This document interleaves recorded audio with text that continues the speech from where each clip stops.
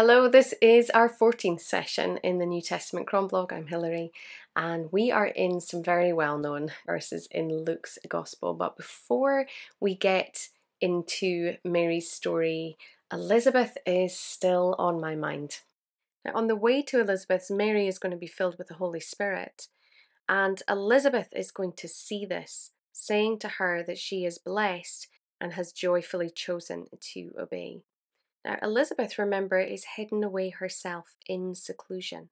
This was her spiritual decision that she makes, and her days must have been quiet and reflective, hopeful of what is to come.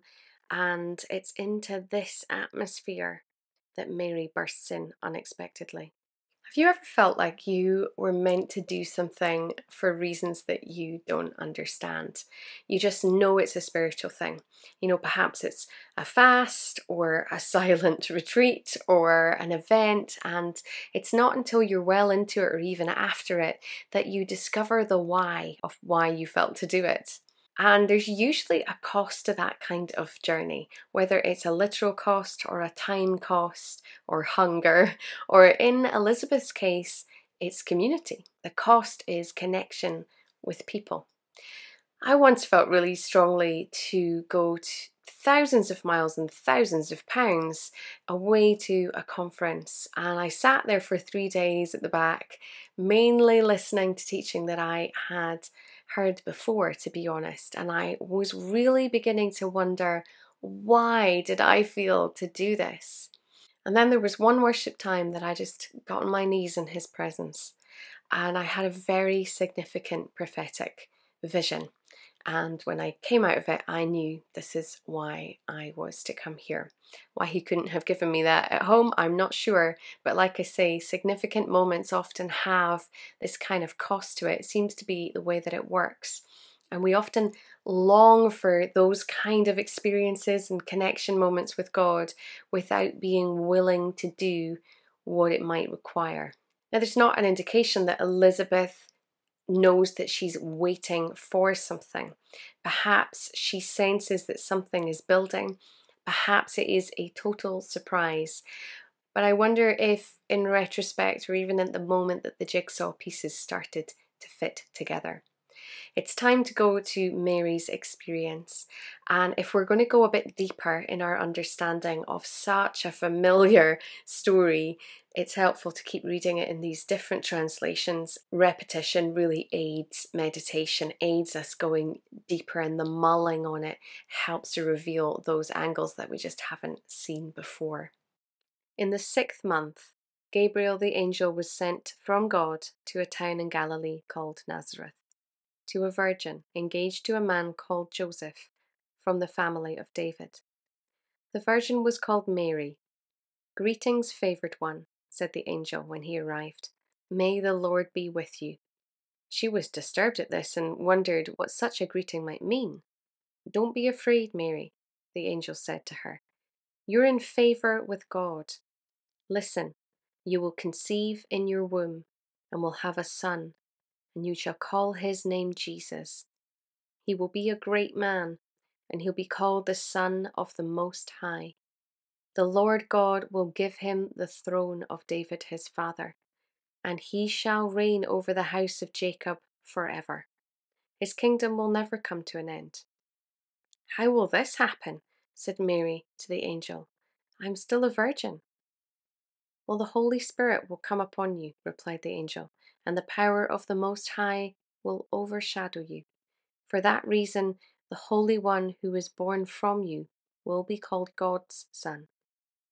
Let me tell you this too your cousin Elizabeth, in her old age, has also conceived a son. This is the sixth month for her, a woman who people used to say was barren. With God, you see, nothing is impossible. Here I am, said Mary, I am the Lord's servant girl. Let it be to me as you've said. Then the angel left her, and Mary got up there and then and went in excitement to the hill country of Judea. She went to Zechariah's house and greeted Elizabeth.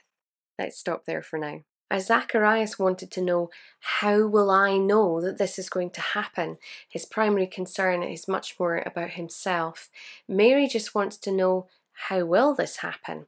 Not if it will happen. Her primary concern seems to be more about the prophecy, like she doesn't want to get in the way of it. I love the way the angel Gabriel gives Mary a piece of juicy heavenly gossip just to boost her faith. He explains the way that her pregnancy is going to happen, but he follows it up with this kind of wait till you hear this moment, this also. And it implies that Mary didn't know that Elizabeth was pregnant. Of course, she is in hiding. And it would have been another wow moment for Mary just to help her to make her decision. Because she is chosen, but you do get the sense that she has a choice in this moment. There is a moment right before she says, May it be done as you have said, this moment of choice. And Mary's not like Zachariah or Elizabeth or Abraham or Sarai. Their cultural shame was their barrenness, but Mary's cultural shame will be her pregnancy. I know there are times that it doesn't seem like God gives the person much of a choice, but in this case I see God giving Mary a choice. She has to she has to say the word, she has to agree to this partnership. And between the angel and getting to Elizabeth's house, Mary is going to have another experience of God. The Holy Spirit will come upon her, and the power of the Most High will overshadow her. And this is a future tense statement when the angel gives it to her. I wonder what Mary's experience was of being overshadowed by God's power. The word for overshadowed is rarely used, actually. The only two other times being Jesus' baptism, when God spoke from the bright cloud, and when there's power in Peter's shadow to heal the sick. This is a really powerful experience for Mary because it changes her perspective. She goes from being confused to, um, but very faithful, to being faith filled and kind of delivering this prophetic statement, prayer, song like Zechariah and Elizabeth, she's on this spiritual journey, but she's also on a literal journey because it's about a hundred miles of road that she is traveling. And it says that she hurried. It's a word that means that she was really eager to get there, that she was in haste, like somebody on a mission, like she just knew that she needed to get to Elizabeth, that things are going to make a lot more sense if she can just get to Elizabeth and the jigsaw pieces are starting to come together. Both women experience this filling of the Holy Spirit. Both of them will speak incredible words to one another, and that is going to be our next session, and I'm going to see you then.